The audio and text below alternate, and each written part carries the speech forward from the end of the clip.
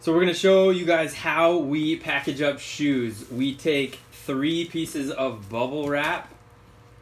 Here's your shoe. We start on this side.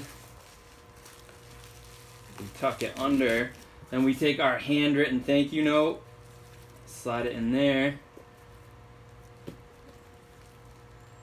Place the shoe opposite of the other shoe, and then just carefully roll. Take a small piece of tape, come across, then it slides right into one of these